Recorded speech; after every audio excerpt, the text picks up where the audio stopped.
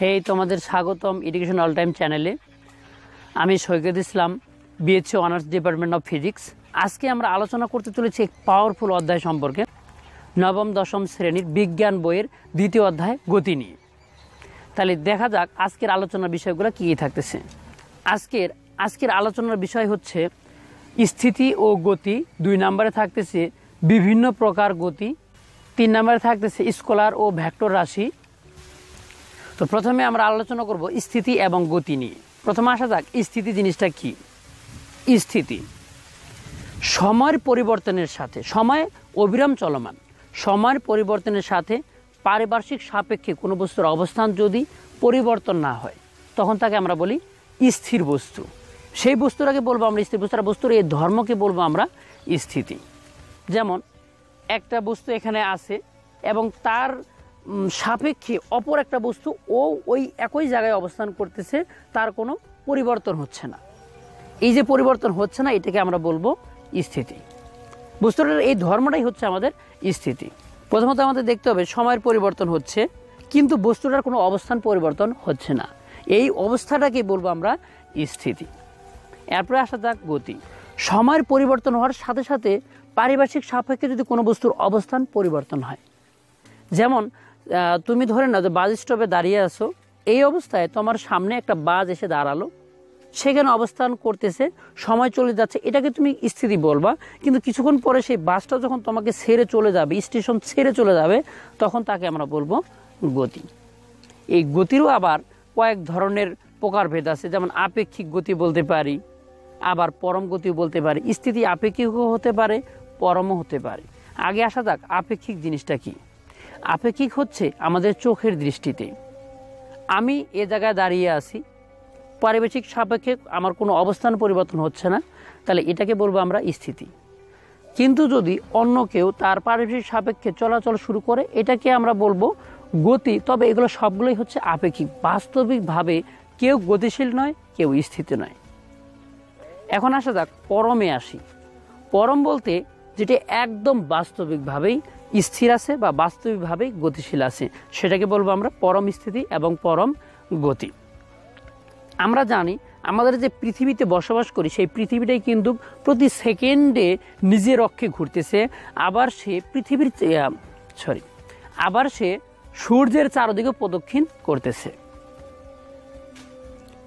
এই যে পৃথিবীটা নিজ অক্ষে ঘুরতেছে এবং সূর্যের চারদিকে প্রদক্ষিণ করতেছে তাহলে পৃথিবীর মধ্যে যা কিছু আছে, সবগুলোই কিন্তু চারদিকে নিজ, নিজে নিজেই প্রত্যেকটা বস্তুই কিন্তু আমাদের গতিশীল হচ্ছে এখানে। কোথাও কোনো বস্তু স্থির নাই এবং আপনা আপনি নিজে থেকেও আবার কোনো জিনিস গতিশীল নাই। সেজন্য আমরা পরম গতি এবং পরম স্থিতি কখনোই পৃথিবীতে বসবাসকারী কোনো বস্তুকে বলতে পারি না।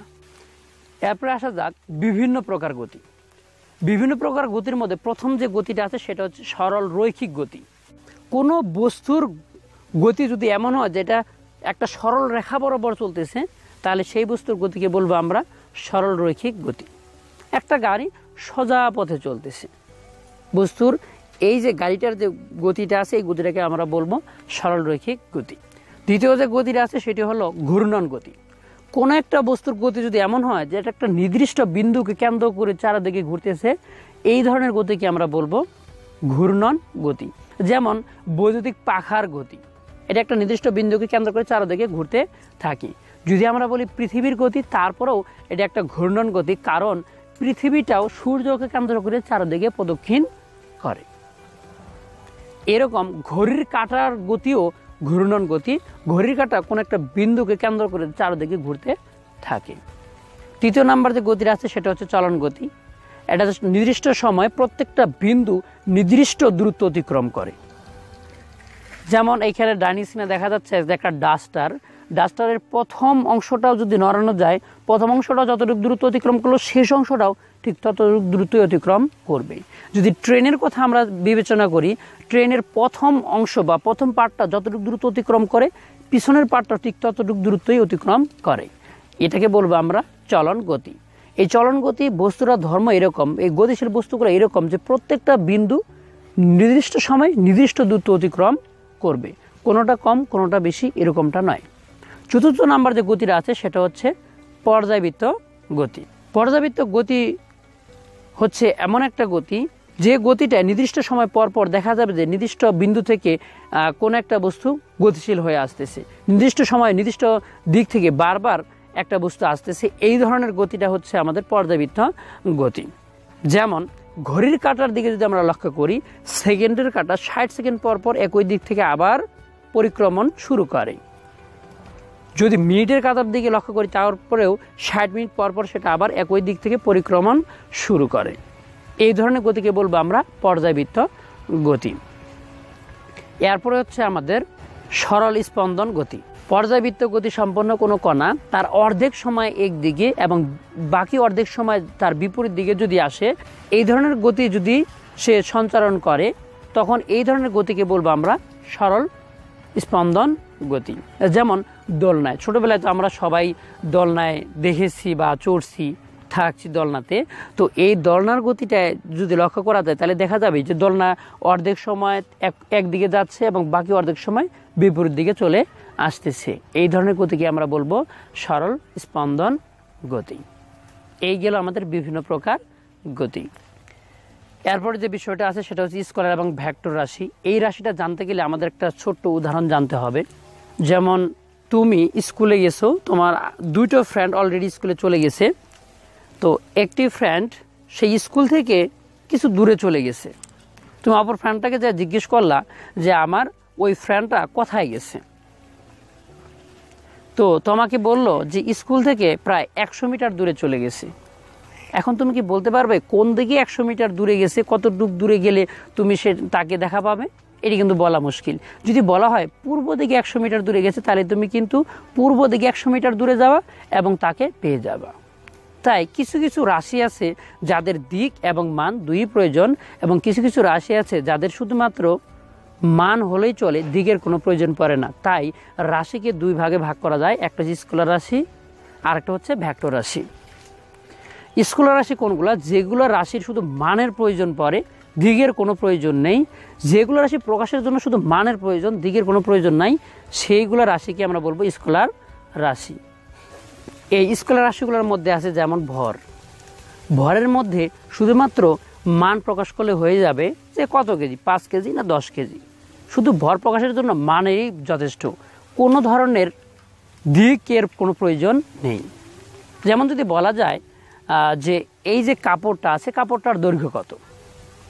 শুধুমাত্র বলবে পাঁচ মিটার। এখানে কিন্তু বলবে না দক্ষিণ দিকে পাঁচ মিটার না উত্তর দিকে পাঁচ মিটার। তাহলে দৈর্ঘ্য এক ধরনের স্কলার রাশি। এরপরে আছে আমাদের কাজ। কতটুকু কাজ খোলে? পঞ্চাশ জুল। এখানে কিন্তু বলা হয়নি উত্তর, দক্ষিণ, পূর্ব, পশ্চিম, এই দিকে কাজ করা হয়েছে। শুধুমাত্র বলা হয়েছে যে পঞ্চাশ জুল কাজ করা হয়েছে।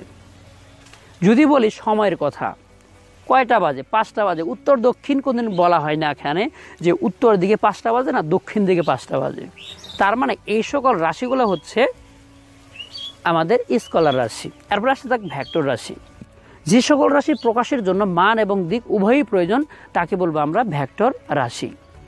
ভ্যাক্টর রাশির মধ্যে আছে বেগ। কোন দিকে কত মিটার স্পিডে গাড়িটা চলতেছে সেটাই হচ্ছে বেগ। এবং বেগ পরিবর্তনের হারই হচ্ছে আমাদের ত্বরণ। তারপরে বলতে পারি আমরা বল। এটা নিচের দিকে বল প্রয়োগ করতেছে না উপরের দিকে? এখানেও কিন্তু একটা দিকের ব্যাপার চলে আসতেছে। তাই ভ্যাক্টর রাশি প্রকাশের জন্য মান এবং দিক দুই প্রয়োজন পড়ে। তো এখানে মেন ফ্যাক্ট হচ্ছে স্কেলার এবং ভ্যাক্টর রাশি এই দুইটার পার্থক্যগুলো। স্কেলার রাশির হচ্ছে যেগুলো রাশির প্রকাশের জন্য শুধুমাত্র মানের প্রয়োজন পড়ে, দিকের কোনো প্রয়োজন পড়েই না। সেটাকে বলব আমরা স্কেলার রাশি। আর ভ্যাক্টর রাশি হচ্ছে যেগুলো প্রকাশের জন্য মান এবং দিক দুইয়েরই প্রয়োজন পড়ে, তাকে বলব আমরা ভ্যাক্টর রাশি। শুধুমাত্র মানের পরিবর্তনের কারণে স্কেলার রাশি পরিবর্তন হয়। শুধুমাত্র মান অথবা দিক, অথবা মান এবং দিক দুই পরিবর্তনের জন্য ভ্যাক্টর রাশি পরিবর্তন হয়। স্কলার রাশির উদাহরণ হচ্ছে সময়, দূরত্ব তারপরে তাপমাত্রা, কাজ, শক্তি ইত্যাদি। এগুলো হচ্ছে আমাদের স্কলার রাশি ভ্যাক্টর রাশির মধ্যে আছে, বেগ আছে, ত্বরণ আছে, বল আছে, ইত্যাদি। এগুলো হচ্ছে আমাদের ভ্যাক্টর রাশি। তাহলে আজকে এ পর্যন্তই। আর তোমাদের জন্য বাড়ি কাজ দেওয়া থাকতেছে। আগামী ভিডিও আসার আগে বাড়ি কাজগুলো কমপ্লিট করে ফেলবে। আজকে এই পর্যন্তই। ভালো থাকো, সুস্থ থাকো। আর এরকম ভিডিও দেখতে চাইলে অবশ্যই আমার চ্যানেলকে সাবস্ক্রাইব করে পাশের বেল আইকন বাজিয়ে দিও যাতে একটা ভিডিও মিস না হয়। আর তোমার বন্ধু যারা আছে, তাদেরকে অবশ্যই ভিডিওটা শেয়ার করিও। ভালো লাগলে লাইক দিবে। ভালো থাকো আজকে এ পর্যন্তই।